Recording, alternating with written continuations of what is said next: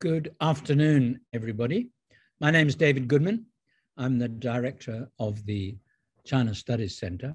But my function today is uh, to chair this issue of the Bookworm series and to welcome, very great with great joy, uh, Wei Wang, who's the head of the Department of Chinese Studies here at the University of Sydney, who is going to talk about the ethnic identities of the Kam people that he's been recently researching on. Before I do that, I would like to acknowledge the uh, original owners of the land on which the university is based, the Gadigal people of the Eora Nation. This land was never ceded, was taken from them. The land is theirs, and we respect their elders, past, present, and emerging. In the session that is about to start now, if you, at the end, there'll be time for asking questions. If you have a question, please use the Q&A facility on the bottom of the Zoom page, and uh, we will uh, ask the questions of Wei. So now, without further ado, over to Wei, who is um, uh, going to talk to us. Thank you. Thank you, David. Thank you, everyone, for making your time to uh, come into today's session. Um, First, let me uh, allow me to share my screen with you. I've got some PowerPoints here to share. Um, in today's talk, basically, I will introduce my newly published book uh, called entitled Ethnic Identity of the Kam People in Contemporary China, Government versus Local Perspectives. This book is actually um, uh, collaboration between myself and one um, China-based anthropologist, uh, Li Songjiang, who is um, associate professor in Southwest University in Chongqing. And uh, he's basically uh, a specialist in doing research on ethnic minority people in Southwest China and um, he is a key person who provide me with access to the fieldwork site and also provide me with a huge amount of um, background knowledge, uh, the current kind of status quo of ethnic minorities in China.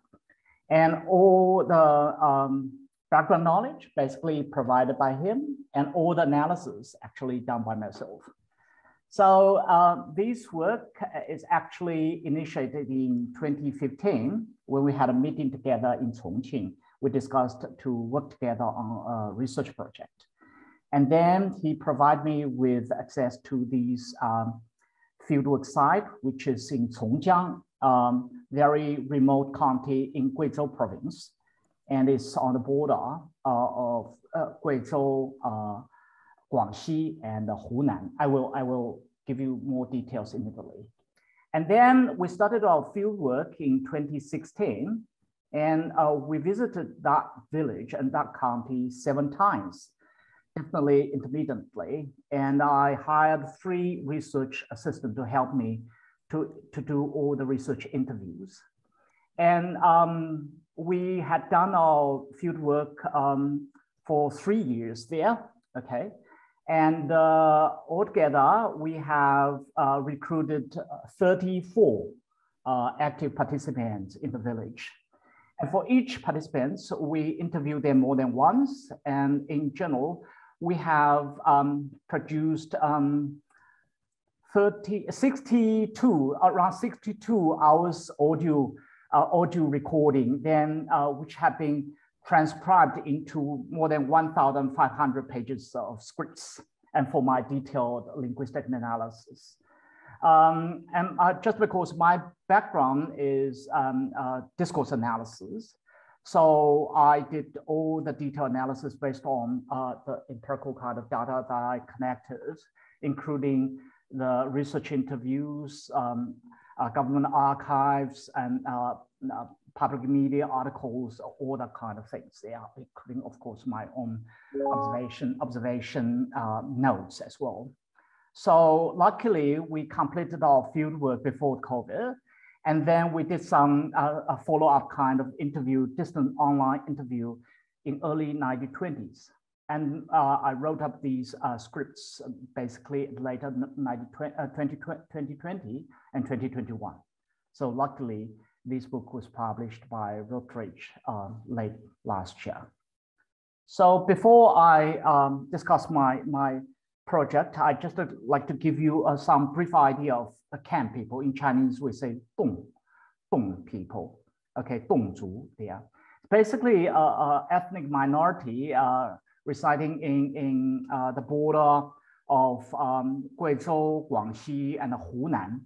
And according to the Chinese census, um, now currently there are about 2.8 million uh, Dong people there.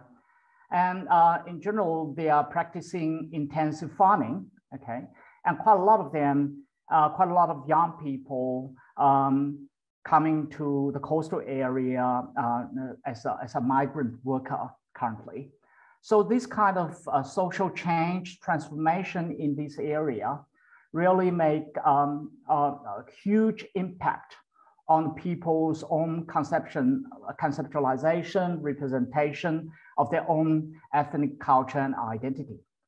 And also for Dong people, they are famous for their grand choir, Dongzu Dage, which is a UNESCO um, um, listed um, uh, World Cultural Heritage. And just because of these Dongzu Dage make um, Dong people um, uh, very high kind of profile in the Chinese public media recently. On the other hand, just because they're sharing the same physical characteristics and also uh, nearly most of them can speak um, Chinese uh, Han language, dialects or Mandarin.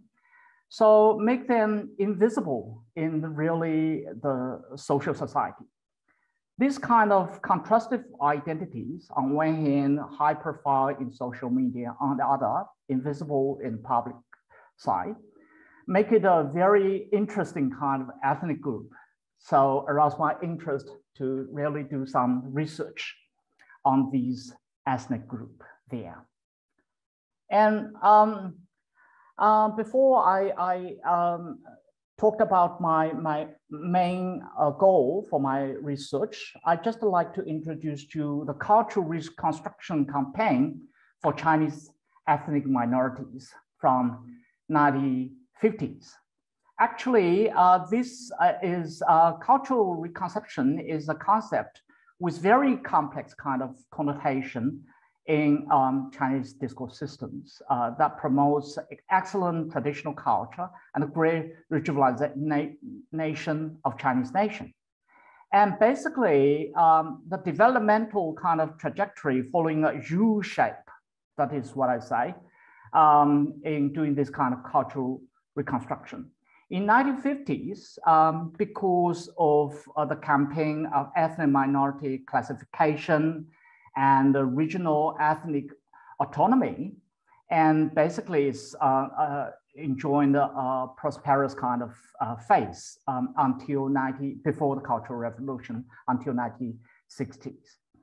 And then during the Cultural Revolution up to 1990s, it goes down to the bottom of the uh, uh, U shape there, just because namely ethnic identity being being regarded as a kind of symbol of backwardness and uh, poverty. And also uh, during that period time, uh, ethnic minorities, ethnic people um, uh, experiencing a rapid integration and simulation, uh, simulation into the ethnic Han. And after 90, uh, 2000, um, people, local people, and uh, the government um, are re-conceptualizing uh, ethnic identity, and ethnic identity culture. And they put a lot of efforts, uh, putting quite a lot of investment to rejuvenate, uh, reconstruct the ethnic culture, ethnic identity with a view uh, to take ethnic culture as a source of uh, economic growth. They uh, quite, quite often they repackage ethnic culture in various kind of ways. Here, actually, my research is very much based on the current kind of context that the government try to invest, and try to do a lot of things to rejuvenize ethnic culture there. That's a general kind of um, background of, uh, of uh, this kind of cultural reconstruction campaign. And for my own uh, research, just because quite a lot of you here might have known that my background is um, in social linguistics and discourse studies. So um, my work is uh, actually to examine the discursive practices of the two most important kind of agents in this cultural reconstruction campaign. And I draw on discourse-oriented uh, ethnography and relevant sociological kind of theories like Geertz, uh, uh, Goffman's kind of theories to investigate the discourse practices of the two most important agents. One is the local government, the other is the local minority people. And what kind of discursive strategies or practices they have employed in reconstructing their ethnic culture and identity. The data um, that I collected during these uh, three years of fieldwork, including the government and communal archives, interviews, fieldwork notes, on-site language signs, and media articles, also videos. So um, for today's talk, definitely it's not possible for me to cover everything, every aspect uh, that I covered in the book. And I just like to uh, highlight and give you some key kinds of findings or, you know, um, without uh, digging to very technical kind of part of my linguistic analysis there. And uh, before I'm doing that, I will introduce you, give you more idea about the few work site that I really um, doing my research. And basically, uh, we visited this part. This is uh, this is an area in China on the border of Guizhou, Hunan, and Guangxi. And the shadow part is where Han people are really living. So you can see the majority of the Han are living in Guizhou. And this is, if you don't know uh, where's Guizhou, Hunan, and Guangxi, you can see it's actually in uh, southwest of China there. And uh, the village that I, I did my field work mostly uh, um, is Zhanli. It's called Zhanli. Uh, it um, consists of 168 households uh, and of um, 791 Kam people, all, all Kam people there. And the village, um, everyone's surname is Wu. Later on, I'll discuss uh, why Wu uh, is a surname there, what kind of stories behind there. It's in the Congjiang uh, County, Qiandongnan, Miao, and Dong autonomous uh, pref uh, prefectures in Guizhou province. And um, it's about uh, 20 something kilometers away. This uh, village is uh, 25 kilometers away from its countryside, the Congjiang. And um, when I did my, uh, my last trip there is in 2019. At that time, still no public transport linking this village to the, to the countryside. You need to drive by yourself there. Otherwise, um, there's irregular kind of um, public uh, transport, bumpy country road there. Of course, Congjiang is now um, uh, linked by Gaotie as an express train already. And in that county, it's very easy to reach uh, uh, Guiyang, uh, the, the uh, provincial capital, and also Guilin and uh, Guangzhou. And, and this are all the express trains linking to the county there. And uh, this is the picture that I talked with uh, local residents. This is um, one of my uh, research assistant there uh, doing the, all the recording for me. You can see the old people are still clad in their ethnic um, clothing. And for the younger or middle-aged people, their dressing is exactly the same as the majority Han. And um, uh, all the people, I think under 60s can speak, uh, can speak um, uh, Mandarin uh, fairly understandably well, understandably well. So it's no problem. And also one of my one of my research assistants can speak that local dialect, so it make my my fieldwork um, um, so easy there. And um, I very quickly, I just give a very quick kind of um, uh, uh, uh, introduction of the discourse. What, what do I mean by discourse-oriented kind of ethnography? It's actually uh, uh, interdisciplinary kind of efforts used to explore the interrelationship between language use, individuals, culture, and society. Emphasize importance of incorporating uh, ethnography into linguistic studies. And um, in traditional or, or, conventional kind of linguistic studies, the focusing on text or language itself. But for, for um, discourse-oriented ethnography, or sometimes we call linguistic ethnography, we try to incorporate ethnic, uh, as, uh, ethnographic kind of studies, ethnographic kind of work into our linguistic analysis. So quite often uh, we use recursive kind of analysis, um, basically following a kind of um, uh, cyclical kind of pattern of data connection, analysis, reflection, and possible redirection of our research in light of the previous data connection, analysis, and reflection. And also for myself, I'm following Geertz kind of framework that, um, first of all, I try to um, conceptualize the experience by using experience near kind of concepts. That is the first order kind of constructs of the reality. Basically, retrieved from the uh, research interviews or the kind of linguistic materials that I connected. And then I try to further conceptualize it by using experience distant concepts there.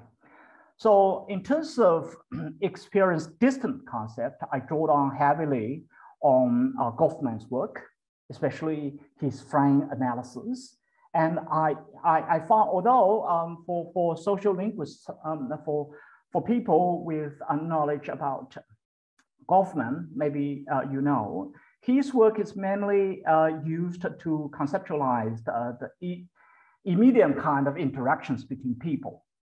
And, but I found his work is also very relevant uh, to my work as uh, when I'm doing these uh, discourse-oriented kind of um, ethnography there. So the, the terms, the concepts like strip, frame, muffin, stunt, key, rekey, fabrication, I found it very, very useful there to reconceptualize what I have already observed um, or analyzed from my data. And um, in terms of discursive practices that I identified in my book, there's quite a big range of different kind of pra practices by these uh, key agents, the local government versus the local people. So uh, for example, for the lo local government, they, they try to draw on the intangible cultural heritage protection as a kind of key thing there for them to protect uh, or reconstruct the ethnic culture.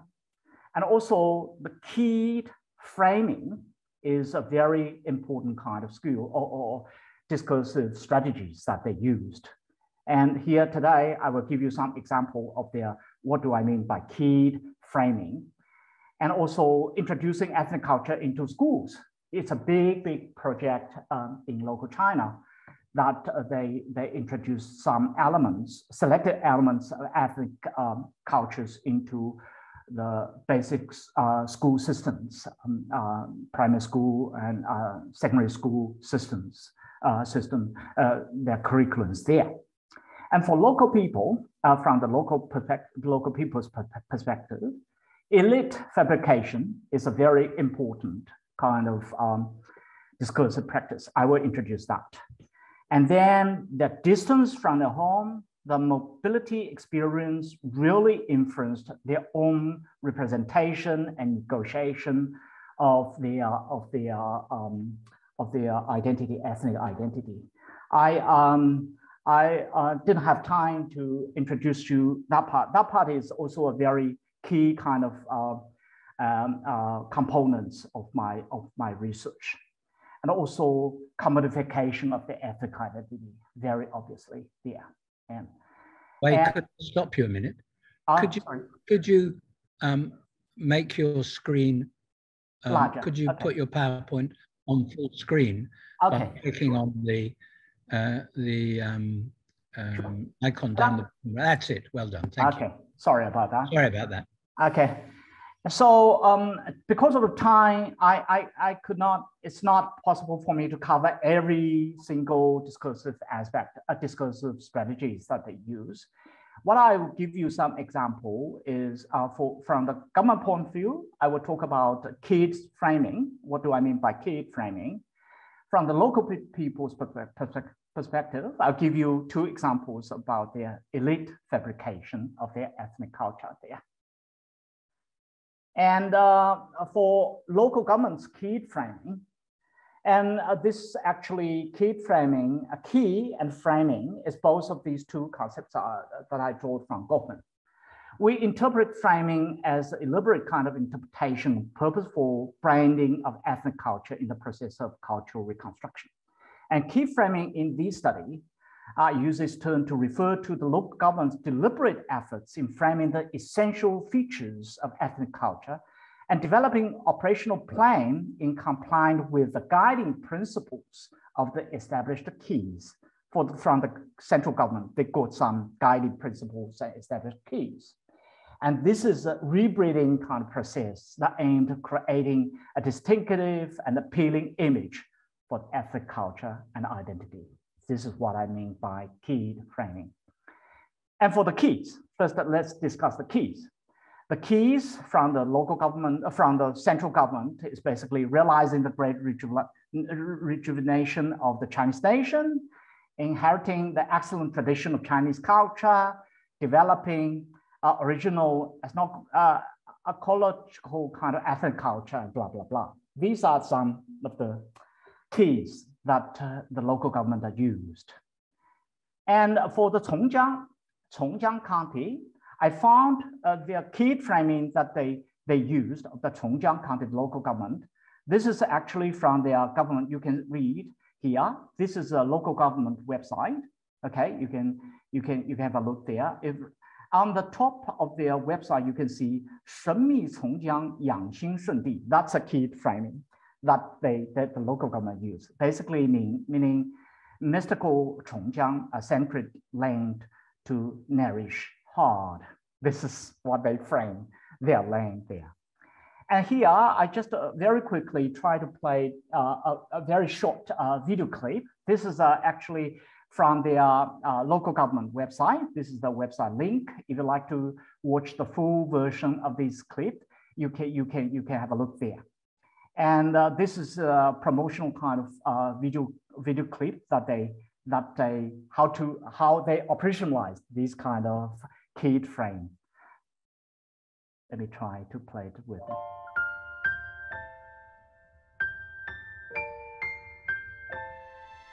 这个世界有太多的不期而遇，令人神往。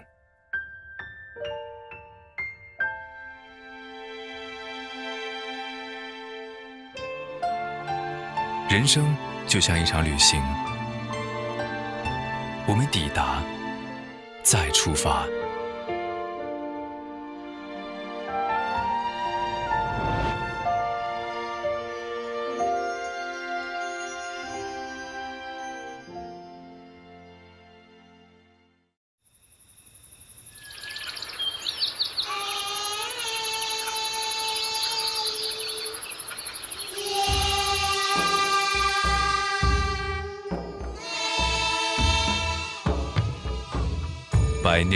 的沉香，深邃久远的记忆，在古寨的歌谣中流淌。鼓楼三百年的坚守，是先人记忆的丰碑，典藏着这淳朴岁月的芬芳，成就了这令人沉醉的人间烟火。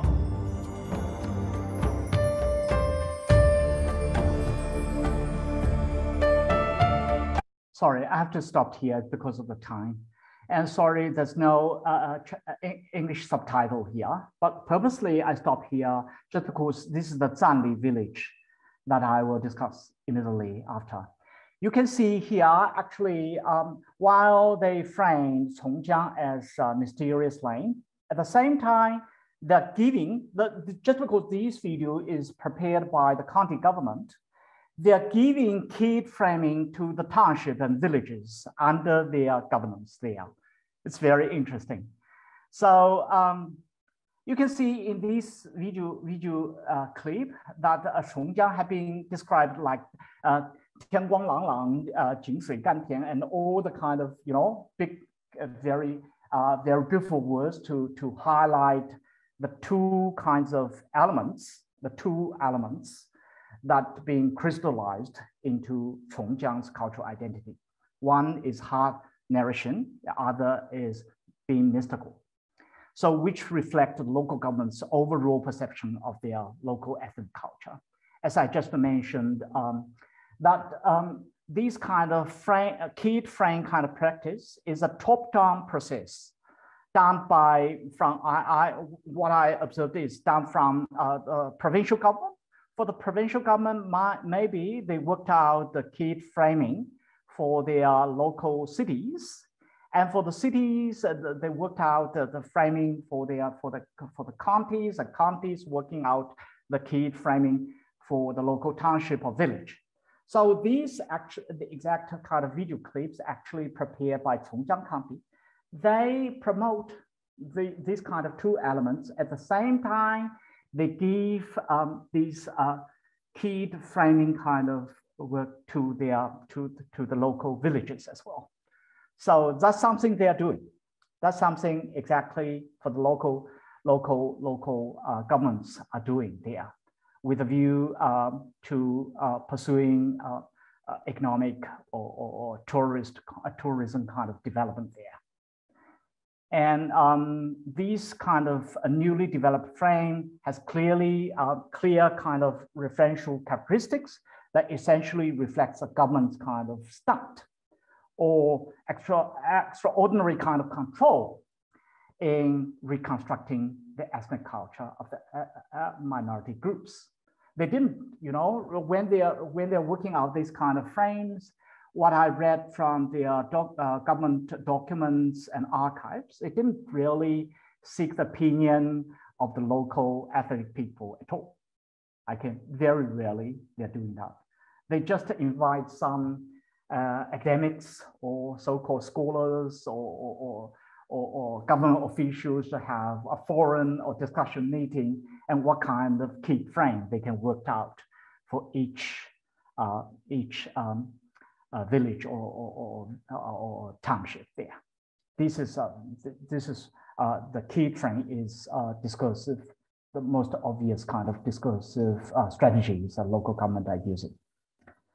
Okay, let's, uh, because I, I, I, have to, to go to the second part, that is the local people. Whether or not the local people are really passive recipient of this kind of key frame or not? No, it's not necessarily so.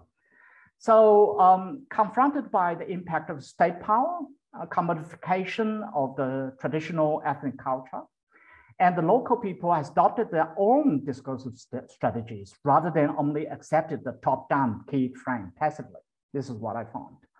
They seek to benefit from the official key framing and the market demand with a view to securing and expanding their own space for cultural survival and develop, development. Elite fabrication, that is that is basically the elite villages reinterpreted or even fabricated their local history for the sake of the tourism development. This is a very obvious strategy taken by the elite villages there. This is what I found. And uh, uh, here I give you two examples. They are interestingly based on my own field work in the Zhanli village. This is a statue of ancestral roots of that village standing at the entrance of uh, the Zhanli village in memory of two brothers, uh, brother Wu Zhang and Wu Li. This is the name that they gave, that they gave to, to um, these, two, these two statues here. And the inscriptions below this uh, statue, this here, read something like this. You can read, if you can read Chinese, you can read there. I didn't want to go through, okay? And basically, they give 相传啊，一千三百六十八年二月一日，OK，赞礼祖先吴赞和祖吴礼两兄弟。Basically, uh, they they create a story about these two brothers coming to to uh, from Guangxi to the uh, to settle down in this village in 1368, and they gave the exact date there. That's uh, February the first, 1368. Uh, and then they give the name of these two brothers there. Okay, and they think just because uh, the village's name is Zhanli, so actually, according to this statue, is from the surnames of these two brothers, Wu Zan and Wu Li, and comes to Zan Li. This is what they get. This is the story told by these statue here. Actually, um, according to the name system of uh, Kam people, they adopted these kind of um, this kind of name. Uh, basically, it's follow a Chinese uh, uh, Han people's name uh, naming naming systems, rather than they are following the traditional traditional Kam people's naming at all. They didn't have basically they didn't have their their surname. They didn't for for traditional ancient pe uh, people, ancient Kam people. They didn't have their surnames at all. And um, this kind of Zhanli. And also, um, in terms of the Zhanli itself as a, as a village name, Li in, in um, Kam dialect is very much a suffix that they use to refer to a place name, like Chun or Zhuang or Dian in Han's language. So it's very obviously they this is a this is an elite fabrication of their of their origin of the village, village name, is the first thing. Second is about the historical era identification. That's more ridiculous. And just because um, maybe you know that for, for Kam people, they didn't have the written language. No, they didn't have that. Their history is very much passed on by their choirs, singings. And they didn't have written history, and it's not possible for them to have an exact date being recorded in the history at all. And you can see here very clearly they uh, fabricate a date, okay? And um, if you're familiar with the Chinese history, you might know that this is a very big kind of thing happened in Chinese history in the year 1368. But it's a beginning year of Ming Dynasty. so basically, they try to fabricate, they try to, um, to use the majority Han's um, history to, to show the close relation, alliance of their own history there. So it's quite different from, you know, in the, in the, um, in the uh, Kam people's um, grand choir, basically they, they are saying, they, they, they have expressions of a long, long time ago. Okay, they just say they didn't have any exact date or time there. So in this, in these um, inscriptions of the statue, you can see actually the elite villages or maybe some, you know, local, uh, local uh, educated people trying to do this kind of elite fabrication for them. This is the first example. Another example I observed in the village is that um, the because of the fertility uh, fertility culture in in Zhanli, um, they they got a, a, very mysterious kind of herb called Huanhuacao. I literally uh, change the flower herb. That means um, traditionally it believes to it got the power to change the sex of the of the fetus. Okay, and and you can decide whether or not a boy or girl can be born in a family but try to operationalize that kind of concepts and ideas and tradition. They build up two wills in the village. One is called male will. The right side is called female will. That mean, meaning that if you drink the water from this well, you can born a, a baby can be born, a girl can be born there. So um, basically, these add the mysterious kind of elements of, of, of their culture, of their culture there. So uh, these two will um, were constructed recently to illustrate the narrative around Zhanli's fertility culture. They used to provide village daily water supply, basically, it's a daily water supply, but have been assigned new meanings relating to childbearing. And drinking water from the male well is said to guarantee a boy, while drinking water from the female well produce a girl. This kind of narrative, however, oversimplified and reduced Zhanli fertility kind of culture to a gender selection kind of custom and distort the public kind of understanding of Zhanli culture. This is actually done by the elite, elite um, villages there. So here, very briefly, I give you some examples of what do I mean by elite fabrication, okay, at the local level. And um, uh, some dis dis discussions. Against the background of a rapidly expanding kind of rural tourism, a state power and the local ethnic elites has played the key roles in formation of the ethnic minority culture and identity. I think they are the key two agents in these uh, social practice. And also this approach of discourse-oriented kind of ethnography and frame analysis can review the rules, systems, procedures have shaped um, the order of discourse in this specific geopolitical kind of space. And my aim for doing this kind of research is going to this geopolitical kind of space and collected all uh, discourse related kind of material uh, that uh, linguistically and non-linguistic material there as much as I, as many as I can and do the detailed analysis behind. On the one hand, it highlights the power of discourse-oriented kind of ethnography in observing and explaining the social world in a naturalistic and unmanipulated kind of way through the lenses of discourse and discourse analysis.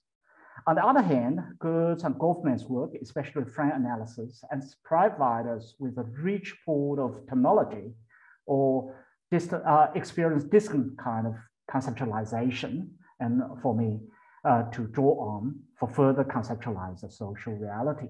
This is all my or my uh, understandings okay, open to further discussion for sure. And uh, very brief kind of, because of the time, I observe the time, and uh, this is a very brief kind of conclusion that I try to um, use to wrap up my talk today. This study reviews that the local governments have played the leading role in planning, implementing the strategies and measures while taking keyed framing of ethnic minority areas as a common discursive strategy in this process of ethnic cultural reconstruction. And on the other hand, the local minority elites have responded effectively to the government strategies and worked to enrich the connotations of the cultural key frame, often by means of elite fabrication. Thus, the local ethnic elites have been not only the key barriers of the ethnic culture, but also its main exponents and advocates of such key frame, such key frame. Okay, so much for my uh, very brief kind of introduction. If you are really interested in my work, you can you can borrow this book from Fisher Library or just uh, you know borrow your own version by own. Okay, thank you.